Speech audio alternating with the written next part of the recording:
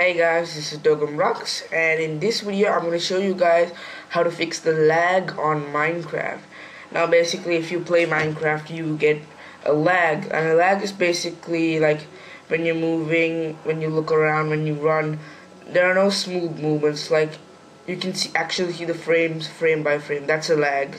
So yeah, there's one way to fix that and the first way is while you're here in the Minecraft launcher screen click and just and just click start task manager.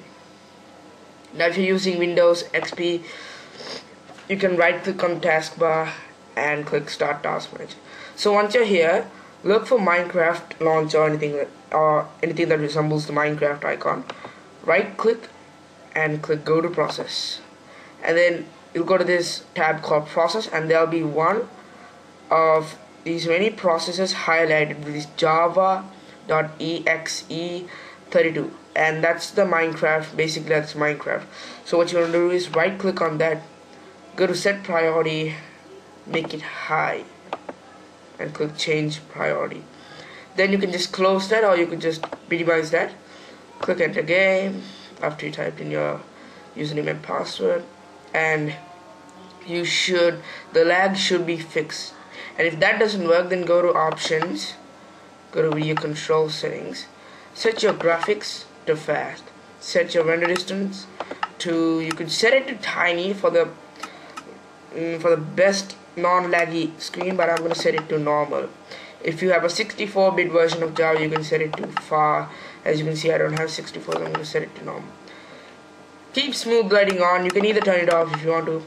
Performance you can make it max frames per second or balanced. I'm gonna make it max frames per second.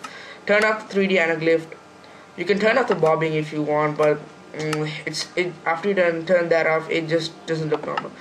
Make the GUI scale normal. Advanced open GUI we don't need that you can turn that off. And if you really need the clouds then just keep it on. I like to have all the particles because it's the best and keep the brightness to moody. And click done done. And go to single player I'm gonna see if the lag is fixed not fixed if it's been minimal. So far so good. Yeah the lag is uh hello who are you? Die. Haha loser. Okay so thanks for watching this this video. This is Dogam Rocks signing off don't forget to rate, comment, and check out my other Minecraft videos. And